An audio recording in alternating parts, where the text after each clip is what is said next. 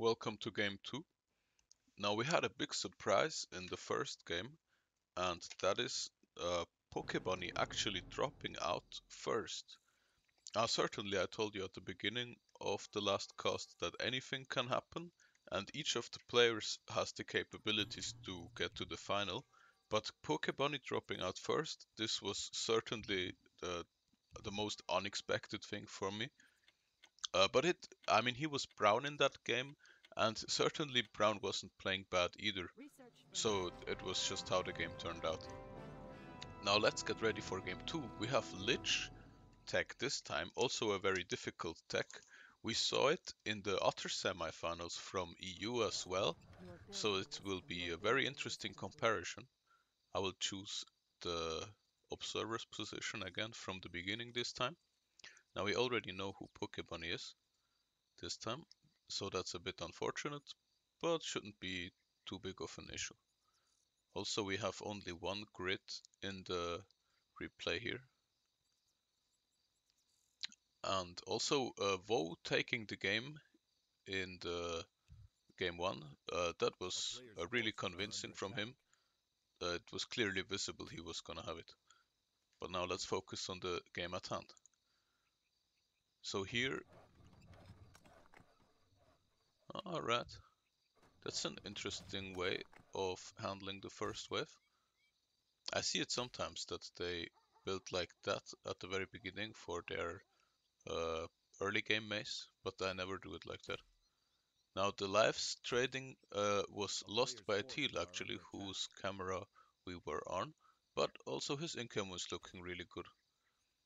But losing 13 lives early, uh, that's definitely not something you want to have have happen.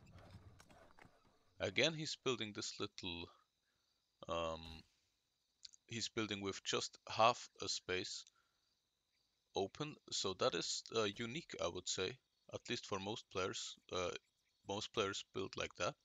So this is something that makes the player here recognizable, I would say, for another game. Yeah, this is usually how it looks from me as well when you handle those wolves. It's nice to wait for the exact moment where the wolves actually reach here, because then they sort of bump into the tower, which takes some more time off of them. We saw this done very nicely by yellow here. Also here, this actually, this is not a surprising build. Now that I think of it, uh, with half a space here, only half a space up here is because you go like free up here and then you close it down here. Now here again with the bump. And here comes the first skelly wave. Now for a skelly wave of this size, what I would actually recommend is to build in here so that they come all the way to here and then that's the exact moment where you close and then they have to walk all the way around. Uh, but also it's very timing based if you can pull it off or not. Sometimes you have the gold in the right moment and sometimes you don't. Also another big skelly wave here, I would do this thing now. And this one is like a combined wave, he sent blues in front and put in his own big wave behind it so that it gets even further. That's also a very nice trick. And now here we see one getting through it. Oh, it gets handled. Oh, again we see some towers uh, uniquely in the back. Uh, we had one player doing this in the last game also, so I suspect it's the same player. And here... Now this is the classical early game maze, I would say. With the exception of this right here. And we have one Plague Well. The Plague Wells are the very good uh, early damage and also mid-game damage in this build. Uh, I wouldn't go too many Frost Towers early. Only perhaps at the uh, night stage, like 2 or 4. But uh, it's hard. I Probably it's better not to do it. So the first ground waves are coming in. But uh, Plague Well is such a good handler that uh, this might not even be the most exciting stage, only when it comes to mod golems maybe. Yeah, we can see those are made for clearing waves of this health and size. The um, grunts are a bit harder to handle, but still with two it's super easy. Or three even. Yeah, we see three uh, like triplets of plague wells all next to each other, so that they uh, hit, hit the grounds down at once, so that they don't get to regenerate much. That's really nice. How do we have it here? Here the plague wells are spread out a bit more, but uh, this guy is concerned more with uh, laying down the entire structure of his maze already. So he's uh, going very heavy on the archer towers and just prints everything on the map, so to say. And then this also means that the early game units, they're going to spend a lot of time in his maze. And this gives him more time to react further down. Uh, but he doesn't actually need it, perhaps upgrade some of those, but no, this one Plague Well does perfect. Very beautifully held. So it has stabilized a little, only teal losing some more lives. Uh, this turquoise, so this is teal. And income wise also teal in the back a little bit. So he's feeling the pressure here from light blue. And also he's perhaps sending a bit more easily into emerald. Uh, a bit of a recurring theme or what's just naturally happening in the game is that when you yourself are feeling the pressure, so you focus a lot on defending, the guy whom you're sending to doesn't feel the pressure as much because you tend to not uh, mix together the hardest kinds of sends, but you just go for income sending non-stop because it's easier not having to think about it and so on. So uh, Emerald got perhaps a bit uh, of an income lead here because Teal was feeling the pressure. But now Emerald, oh, I should start talking about that huge shade wave that is in Emerald's base. He's got a lot of gunners and I like that. Gunners are pretty good to hold shades and also quite some archer watchtowers which are shooting down each and every one including the rot golem. Perhaps this could have been held with fewer watchtowers uh, but still he did really well. Now let's focus a bit on yellow here. Uh, he's doing some early frost towers in the midst of his um, his grinders, uh, which makes sense, but uh, it only makes sense theoretically. But balancing wise, I'm not sure if it's good. But on the, also, each and every well he went, he upgraded into the 800 version. He didn't go for any more wells. Now we see a tiny little attack here, and it's also, of course, it's important that you don't get the leg open here, but it's also important that you don't over defend such a tiny little attack. And uh, by saying that, I think Yellow did a really good job just making two cannon towers, but upgrading one into the 1k version might have been a big investment, and now he's punished for it with the big shade wave on top by Emerald. And he's and also a lot of rot golems, so that that nice little sequence was really good. But the response is correct, getting a lot of 800 plaque, and uh, I think those rot golems are all going down. But nonetheless, Yellow had to invest big, 12.5k uh, most maze value, but his income early game must have been incredibly good, so that he's still second in income. And Blue meanwhile is first in income, and he's eating a ton of knights right now. And, he, oh okay, he, he made two executioners already, now those are going to uh, shred through the knights very easily. So he doesn't look in much danger to me at this point. Uh, it's interesting to notice that with the Lich tech we see a lot of carvers, like the first box is full of carvers and we also saw this in the EU semi. This is just because you need the normal damage, which you uh, don't otherwise have. And also because uh, like your main tower is more of a support tower actually, which is the Lich. Now Liches are really really good, but you can't have them as your main damage source. And the 10k uh, the 10k plague are super good also, the plague fanatics I think they're called. Um, but you can't really uh, re or replace them with an ultimate tower. Uh, they can't really fit into that role perfectly. They they do some good job, but uh, there's a lot of reasons why you want to have this normal damage in your maze. And also he put in a whole line of uh, crushers. That's a very um, straightforward solution to that problem. Usually I try to like build the crushers in like six or seven different spots where they always have a nice place to get some good hits off. But uh, it's perhaps better to not focus on such small things so much and rather get one line in.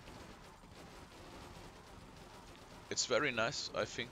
Uh, generally speaking, I don't think the Crushers are a good unit. They might be a bit too weak, but it's very nice having them together with Slow. We see a lot of um, Trolls and uh, what's the other? The Vengeful Spirits lined up. So Turquoise, uh, he must invest a lot in. I don't think he's gonna defend this. He's gonna just leak it. That's really nice, uh, having the slower speed from the Vengeful Spirits first, and then the fast Trolls behind them so that they match up in speed near the end of the maze. So uh, Turquoise down to 62, Teal on the other hand down to 5 already. Also with a lot of Vengeful Spirits in his maze.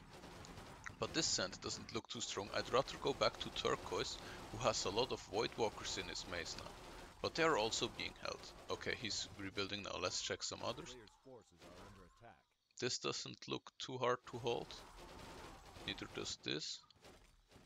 Okay, here we see the Void Walkers. I think they're actually good in this tech. Like I love sending exactly like that, or perhaps even two sends of Void Walkers first, and then the Faceless one with the aura behind, and then even a dragon spawn behind that, and then the air on top, so that it all stacks up towards the end of the maze here. So we're seeing it a bit like that here, a bit earlier already with the Wind Riders, but they're doing really good I think. They have medium armors, so the guard towers are not good against them at all. Yeah, we see a lot of Wind Rider leaking here by Light Blue. So Turquoise stealing some lives. Now how is Teal doing? Oh, Teal is struggling. Mm, this is not yet it. He's got the Mauler Wave to save him, but his income tells a story of a hard battle already. So 5 lives and 27k maze value. He might be dropping out before sudden death, unless uh, something really happens now. Now we see, because of that, Emerald is lowest in maze value, uh, which he just can because uh, Teal allows him to have it like that. But now that Teal uh, has stabilized, or does he have it stabilized? It's hard to say. Yeah, I would say definitely with those.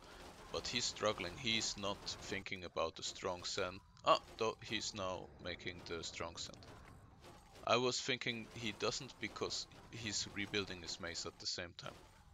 But he put in the strong send first, then went to the maze, and now he just has to send the air on top in the end. Which I really hope he'll do. Will make him... Yeah, it might be a bit late. Well, let's find out. But the, the right kind of damage, he could not have sneaked those through here. Uh, the right kind of damage is definitely there. And the Wind Rider's a bit uh, late. Yeah, he might get like one life here. Okay, three, not bad. Yeah, but uh, that's really not what Teal needs. Yeah, okay, GG. That was a hard uh, pressure sent from Light Blue there. What did he send? Okay, a lot of Dragon Spawns got through. And he continues where he left off, with this time with Emerald, putting a lot of Dragon Spawns with Faceless ones in first, then probably sending uh, I'm sorry, I mean the turtles with the uh, faceless ones, then probably sending the dragon spawns behind. But he doesn't actually do it, and that makes perfect sense because of all the maulers here. Again, we see one ultimate uh, artillery tower together with the frost, it's good for handling the turtles.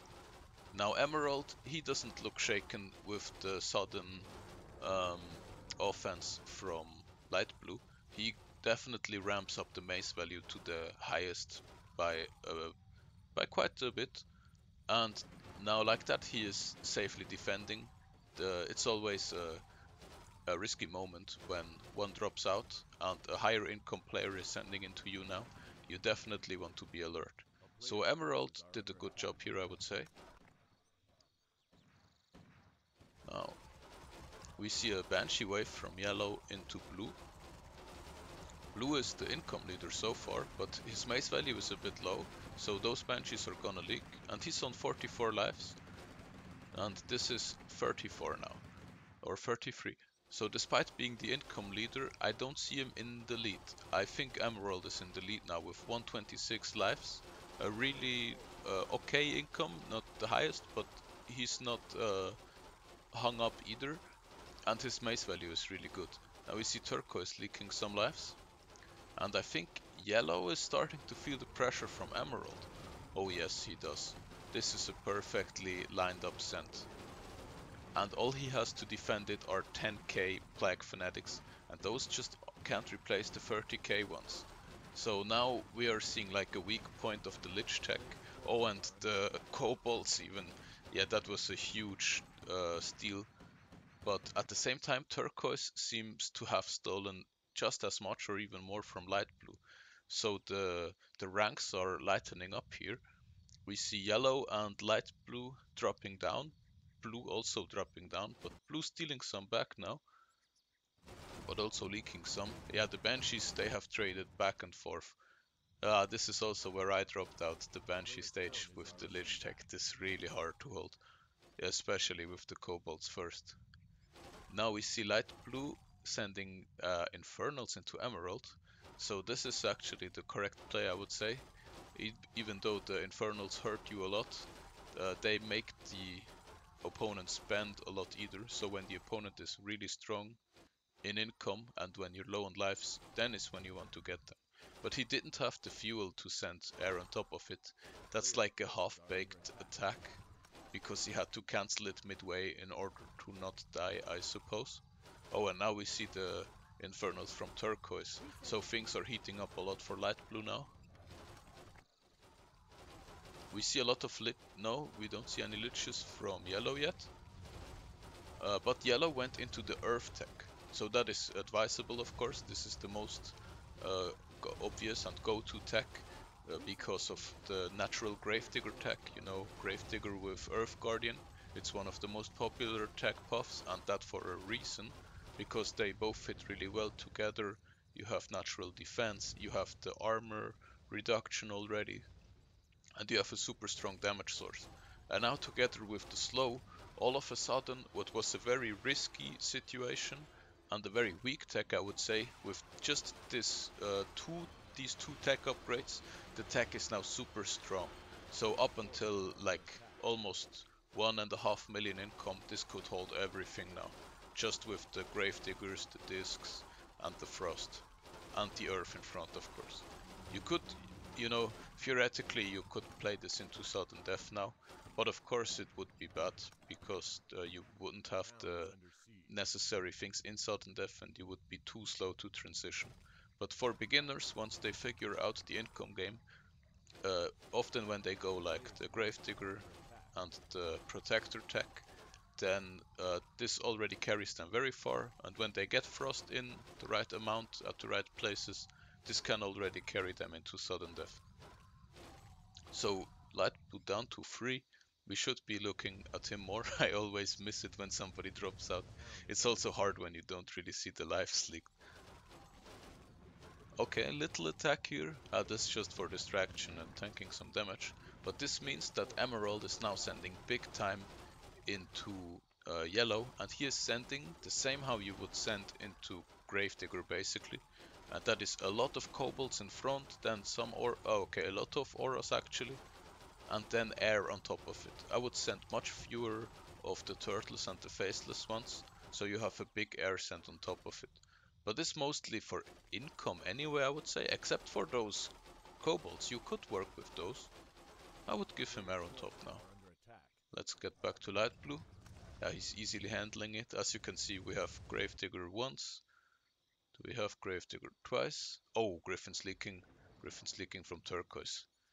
The Griffins have been awoken. So that means Turquoise will be sending Griffins into Light Blue soon, and he's gonna try to take him out like that, I assure you. And Light Blue knows it, he's gotta get ready fast. And he might need some discs here. Now we see uh, blue being ready for the griffins and yellow actually defending a lot of griffins from emerald. He's got the shrooms up and he's doing well. Research finished. Okay, so where's the griffin wave? Ah, it's it's too late. By now everybody got ready, got the wind of the griffins already. Research finished. Oh, he even tags into the ultimates. That makes perfect sense because if he loses three, he's dead. He needs more. You need more, bro. Ooh, now he's got it. Very nice. Okay, so he didn't die to the griffins. That means he's still in there, but lowest on income by like 100k. His days are definitely numbered, light blues. While Emerald has edged out a significant life lead, before that Turquoise also had a good life lead, but now the gap has opened up between them. They were both on 100 and now it's 170 to 70. So this can be converted into a winning position now. Emerald also having the least pressure with light blue being under pressure and before that teal was so under pressure from light blue. So Emerald uh, being the profiteer of that uh, etching out a big big incomplete. Very good position for Emerald here. Uh, Turquoise could still challenge it though. He's close in the income and once he kills light blue uh, he can uh, knock on the door of Emerald without Emerald being able to hit back. So this is, and also he's much ahead in maze value. Emerald is very low because he doesn't feel the pressure. And because he's relying on set free tech puffs. Yes, he was able to get through the Griffin stage without having to go shrooms. So that saved him a lot of gold. Now come the big Griffin save, so he's a bit late, I gotta tell that to Emerald. So he will leak some lives now. He's a bit late in getting the full uh, wisps here. But he takes that with his 170 lives. It's completely okay. Oh, but, but light blue, that's like a heaven sent from him. Oh, wow. I might even think that Emerald leaked those lives on purpose. It might be a strategic leak to keep uh, light blue longer in the game so that turquoise doesn't get to send Emerald. But uh, probably I don't think he did it on purpose. Okay, so we have the 1 billion club separating itself. Yellow catching up now. But definitely, um, I think now an income gap between 1.5 and 1 billion is very very hard to come back from. But because there is 4 million of base value between them, it is not impossible actually. They are closer together than it seems here. And the only big issue is the lives at this point. Yellow down to 25. Uh, with the highest with the income leader sending into him, this is a dangerous position for him, even though he might be playing really, really well. No doubt he is. So we've got two full Ancient Guardian lives in the back. Uh, that's also uh, become meta nowadays, most players do this. Just to have some continuous armor reduction. And they deal more damage and they get to hit more altogether compared to them being just in front. Especially when you close down the whole front. So now light blue has stabilized. Once you can say they get to 7 or 8 million maze value, uh, the pre-sudden death game sense cannot kill them anymore. Uh, they can immediately before sudden death if you already stack in some Kodos and Shredders, but it's very unlikely this is going to happen. Uh, unless Emerald wants to get to yellow, this is where I would see it still. And perhaps uh, somebody wants to kill someone else with only 28 lives. So now the... oh, we see Mountain Giants and he managed to open up here and now he's trying to sneak as many A-bombs as he can. Mm, but I don't think they're gonna do much. So many lich, so much damage. But very nice move for sure. Always a big stress factor. Here it's gonna be easily held. Yeah, at this point it's about who can edge out the most income and who can complete his maze the fastest. That's a very important thing to be as ready as you can be once the sudden death timer hits. You have to be ready at three fronts, so to say. The first is up here, where you want to have about five lines deep, and then you want to have the, the correct mix of uh, Ancient Guardians in front, some Shrooms to heal them up, at least one Titan Vault for the armor, then you want to have Lightning Discs and Holy Discs, and then you want to have the Glyphs to kill the um, the Phoenix, and then you want to have the Moonbeam and some other stuff like Gravediggers to kill the Mountain Giants. And down here you want to have an enforced position as well, so that the Phoenix don't just bypass your front and open up a big hole here. Uh, so this is the first front where you want to get ready, then the second one is the actual damage output in your maze. This is what's concerned with the shredders. Uh, that mostly consists of some moonbeam in the middle, some gravedigger, but only some usually, and then tons and tons of orb keepers, and then a lot of titan vault in the back. And then the third front where you want to get ready is the shrooms behind, and perhaps get some liches in here, and perhaps even get the glyph ready, which he has here, to handle the worms as easily as possible. So we see him converting into Titan Vault now. It's still pre-sudden death and it's looking really good here. The maze is already far. The tactics aren't that far, but the rest looks set and done. Also here it looks really good, damage is up. So they all gonna get into sudden death now. Yellow was losing some lives again. Arguably there was the strong scent from Emerald. Unfortunately I missed it. And now here we are at the sudden death. Yellow, yeah, he's almost ready. He's got his lightning discs here and now he's going for tons and tons of glyphs. As if to say, don't even dare to shredder me, bro. I mean to phoenix me. Here we got some uh, glyph. Emerald had uh, um, an easy way preparing, you can see, because it looks like really uh, cut out already.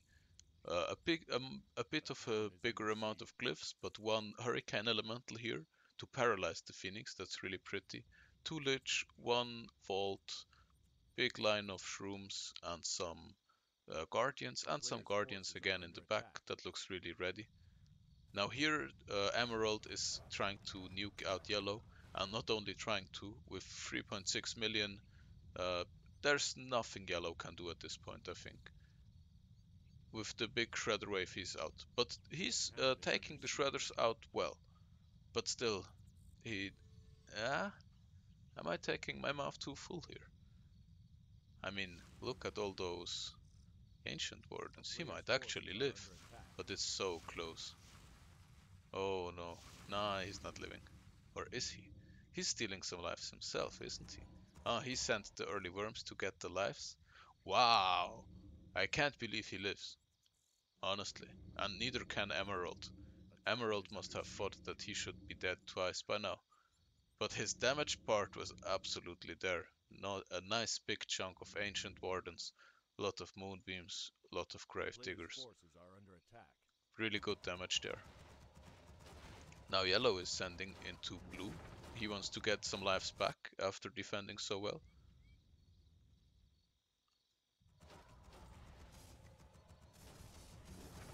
Oh, it's starting to lag. Yeah, so many people in sudden death always becomes laggy. Hmm.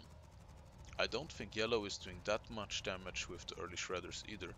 He's even converting two lines of shrooms in the back to have even more damage.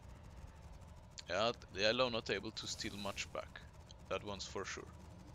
Now light blue was out. I didn't catch it unfortunately, but I think he was just on 5 lives or so. Oh, he actually managed to steal some up. Now blues, uh, frostworms are being held very nicely here. Leaking some. Oh, yellow down to two lives. Oh, now the phoenix come. Yeah, when you're on so few lives, you can just fly phoenix over. Oh, that was lucky. He actually managed to get back up to 4, but then he lost some from the timer. Now we have two Phoenix in Blue's maze. Are they trying to do something, or are they just exploding? It looks like they're just exploding. Oh, he's actually flying them over one more time. And now it's Blue against Emerald. So Turquoise was defeated by Blue. And now we have the final situation.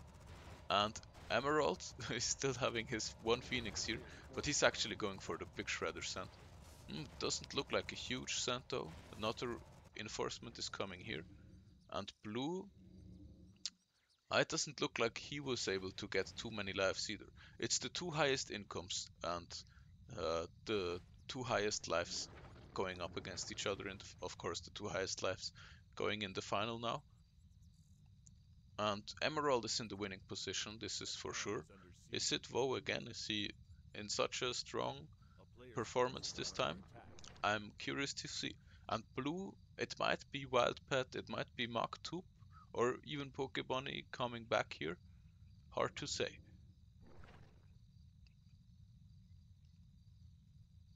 Yeah, those might be like 10 lives for him. Let's see how many he leaks zero, or he he already lost some. But uh, Blue's life count is going backwards. However, now it's uh, tickling back up. Might get up to like 70 here. Oh, very nice. And Emerald, he's on 138. So let's see who will uh, keep draining in lives. Now Emerald is uh, getting his next big send towards the end of his maze. Let's see how much gold Emerald has. Ideally, you want to have 9 millions right now, so that when your old wave gets through, you already start sending in the new wave. But Emerald chooses a different plan and goes for the Phoenix play. Ah, and ah, he's camping them here, and he's starting to deal damage. Ah, it doesn't look like the prettiest Phoenix play, honestly. I like the camping part, but those two are super ready with Vault and with upgraded Holy Disc. But still he got through, so that is nice. But can he maintain it here? That's a big question. And at the same time, Emerald is leaking big now to blue. It remains to be seen if the Phoenix were the correct call, but perhaps Emerald was thinking that he's not making the same amount of damage to blue as blue is doing to him. This can be when blue's maze is better, we have a nice mix of earth, plague and frost discs here. Of course the damage also looks nice. I don't like this back part here with no slow. I would prefer to see some sludges in honestly. But seems to be good so far. Now Emerald stealing big time, yeah. Blue is down to 27. He was able to rebuild, but Emerald sneaked through a lot. So he might be on the track to win it. Okay, now Blue comes in with his big offense. How much gold does he have? Yeah, still almost 9 million. So this is gonna be a really big send from Blue. Perhaps his last big offense. Yeah, Emerald tries to win it with the worms now. I'm not sure if I like it so much. The worm defense is really good. Like those are all gonna get stuck here. Proved me wrong though. 30 lives, uh, 152. Oh, actually they might be getting through. Yeah, he doesn't go for more uh, shrooms in the back. But still, they this big chunk here will be held back. So it stays at 155 most likely.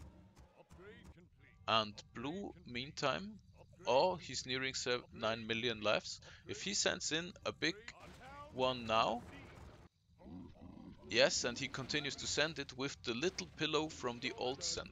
So this is even stronger than a full send now, because he was correct. Uh, he was at 9 million at the right time. So blue getting back up to 46 lives and sending in no another big send here with um, with Emerald having one line converted in the back, converted into Titan Volts from the shrooms. So perhaps if he, yeah, now he puts a lot of worms also behind it. So this might be the maximum difficulty to hold now. Oh, but at the same time he dies. Yeah, I didn't, I missed it. But he did whatever he could, definitely. So who is the winner here? Let me quickly check. Uh, oh, now we get it again. So Vo was number one, right? And then we have uh, Maktub was number two. Uh, it's hard to see it in this sort of interface. So Resin was sixth, Coffee Bunny was fifth, no, sorry, Poke Bunny was fifth, Coffee Ninja was third, Wild Pet was fourth, and then yeah, um, wait, Woe was second and Maktub was first. Yes, Maktub won it. Ah, here we see it when they were defeated. Okay, now it makes sense. So Maktub won it, then Woe second, so that means Woe is still first overall and Maktub is second. And then we have uh, Coffee Ninja in third, very nice third place. And then we have Pokebunny fifth, Wildpet fourth, and Resin uh, sixth. So I think Wildpet is on seven points now on rank three, but I'm not entirely sure. Coffee Ninja, uh, how many points did he have? He had one in the first game, and he's getting four now. So it will be between Coffee Ninja and Wild Pet for the third place in the no, does that yeah, that actually makes sense. And Maktub and Wo are already qualified. And Pokebunny and uh, Resin theoretically with uh, W, they might still get third, uh, but it's very unlikely. So this is the position for the final game, and I see you guys there.